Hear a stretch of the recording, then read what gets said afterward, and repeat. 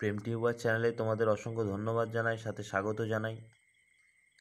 তোমাদের আগের কারেন্ট অ্যাফেয়ার্সের ভিডিওতে থার্ড আগস্টের কারেন্ট অ্যাফেয়ার্স ভিডিওটা তোমরা দেখে নিও ডেসক্রিপশানে লিঙ্ক পেয়ে যাবে। ওখানে তোমাদের যথারীতি আলোচনা করে দিয়েছিলাম কী কী বিষয় নিয়ে ডব্লিউপি সাতাশে সাতাশে সেপ্টেম্বরে পরীক্ষা নিয়ে কী কী আমাদের টার্গেট আছে। আর এই পরবর্তী আপকামিং এই এক মাস, দু মাসের মধ্যে যে ভিডিও আসছে, এইগুলো কভার করলেই তোমাদের আর জিএস বা ম্যাথের জন্য আর কোনো পড়া পড়তে হবে না। এগুলোই বারবার প্র্যাকটিস করে মুখস্থর মতো করে নিতে পারলেই তোমরা প্রিলিমিনারি হান্ড্রেড পারসেন্ট পাস করবে। তারপর গ্রাউন্ড ষোলোশো মিটার সাড়ে সাড়ে ছ মিনিটে নেক্সট মেন আবার মেনের প্রিপারেশান শুরু হবে। মেন পঁচাশি নম্বরে, তার আগে প্রিলি একশো নম্বর, ষাট মিনিটে পঁয়ত্রিশ, তিরিশ থেকে পঁয়ত্রিশ পেলেই পাস জেনারেল হও এসসি এসটি ওবিসি তো কোনো ব্যাপারই নয়। যাই হোক, প্রথম কোশ্চেন তোমাদের সামনে নিয়ে চলে এসেছি। ওয়েস্ট বেঙ্গল পুলিশের প্রিভিয়াস ইয়ার কোশ্চেন দু হাজার পাঁচ থেকে দু কুড়ি পর্যন্ত পশ্চিমবঙ্গ পুলিশের। সতেরো ধরনের পরীক্ষা, যেমন constable, SI excise lady constable, সব ধরনের।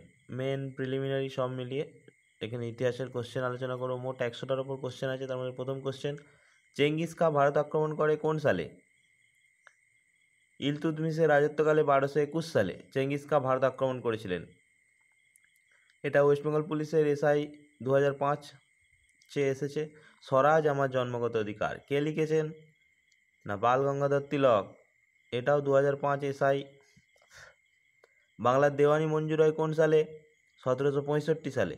মুঘল সম্রাট দ্বিতীয় শাহ আলম সতেরোশো পঁয়ষট্টি সালে ইস্ট ইন্ডিয়া কোম্পানিকে বাংলা, বিহার ও উড়িষ্যার দেওয়ানি প্রদান করেছিলেন।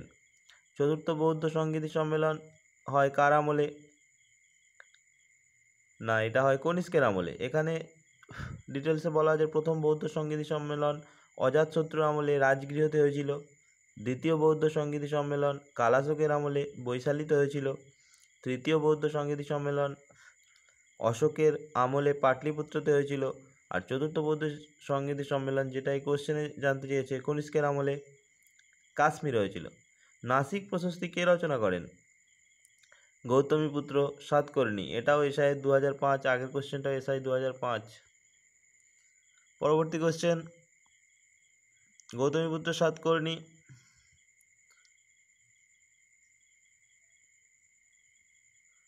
গৌতমীপুত্র সাতকর্ণী তিনি ছিলেন এটা আগের কোশ্চেনের অ্যান্সার সাতবাহন বংশের প্রতিষ্ঠাতাকে না শিমুখ রাজধানী অমরাবতী। নানাঘাট শিলালিপি থেকেই সাতবাহন শাসকদের সম্বন্ধে জানা যায়। কোন শিলালিপি? না, নানাঘাট শিলালিপি। নাসিক প্রশস্তি থেকে গৌতমীপুত্র সাতকর্ণীর রাজত্বকালের কথা জানা যায়। রাজস্ব বিভাগে পাট্টা প্রচলন করেন কে? না, শের শাহ। কবুলিয়ত পাট্টা চালু করেন জিটি অর্থাৎ গ্র্যান্ড ট্যাঙ্ক রোড নির্মাণ করেন। তিনিই প্রথম ঘোড়ার দ্বারা ডাকযোগের ব্যবস্থা করেছিলেন। কোন চোল সম্রাট তার নৌ সাম্রাজ্যের জন্য বিশেষ খ্যাতি পেয়েছিলেন?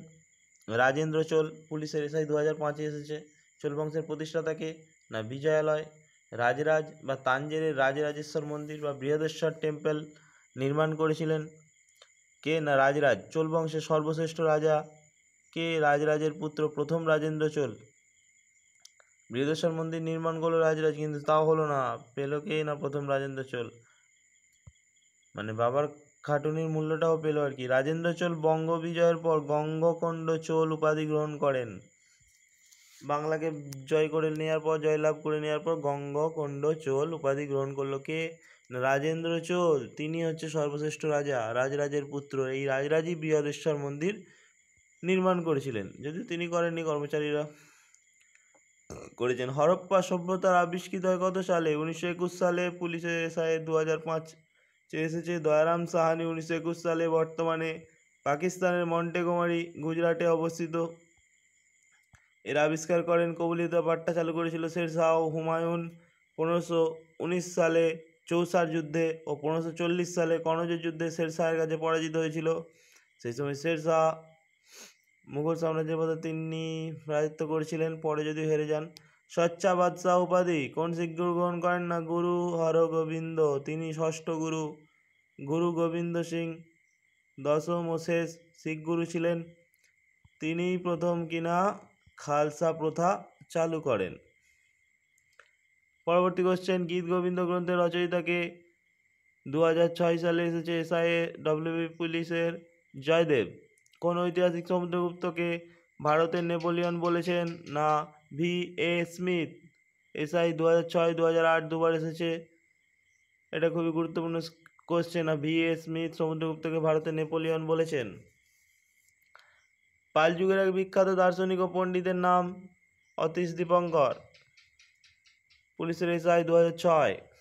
রবি কীর্তি, দ্বিতীয় পুলকেশী দুজনেরই সভাকবি ছিলেন কে না অতীশ দীপঙ্কর?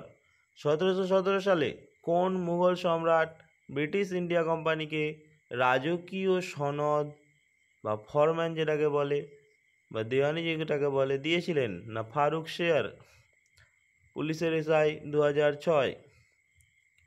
ভারতের প্রথম গভর্নর জেনারেল কে ছিলেন? Lord William Bentinck.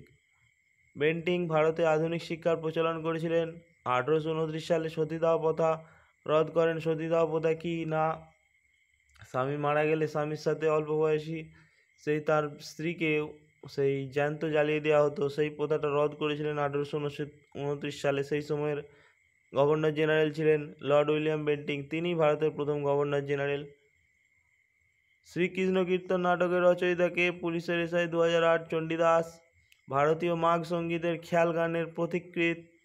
পুলিশের এসআই দু হাজার আট, আমির খসরু। জিয়াউদ্দিন বারানির লেখা একটি গ্রন্থের নাম কি? না তারিক ই ফিরোজ শাহী। আলবেরুনি লেখা বই, তাহকিকি হিন্দ, কিতাবুল হিন্দ, জাহাঙ্গীরের লেখা বই, তুজুকি জাহাঙ্গীরি ফোর্ট উইলিয়াম দুর্গ কার নাম অনুসারে নির্মিত নির্মিত হয়? ব্রিটিশ সম্রাট তৃতীয় উইলিয়াম, পুলিশের এসআই দু ভারতীয় জাতীয় কংগ্রেসের প্রথম ভারতীয় মহিলা সভাপতি, ভারতীয় হলে সরোজিনী নাইডু। আর সব মিলিয়ে এমনি মহিলা যদি হয়, তাহলে অ্যানি বেসান্ত অ্যানি হয়েছিল উনিশশো সতেরো কলকাতা অধিবেশন। আর উনিশশো পঁচিশে ভারতীয় মহিলা সরোজিনী নাইডু কানপুর অধিবেশন। এই ধরনের জিকে জিএস ভিডিও এগুলো পুলিশের সমস্ত এখন পর্যন্ত হওয়া পরীক্ষার প্রিভিয়াস ইয়ারের কোশ্চেনের মধ্য থেকে তুলে তোমাদের সাথে আলোচনা করছি। এগুলো করলেই তোমরা সব কমন পেয়ে যাবে, আশা করি। তাই এই ভিডিওটি, এই ধরনের ভিডিও আরও পেতে চাইলে ভিডিওটি লাইক করুন, বন্ধুদের সাথে শেয়ার করুন, আর চ্যানেলটি অবশ্যই সাবস্ক্রাইব করে রাখুন পরবর্তী ভিডিওগুলোর জন্য। thank you for watching.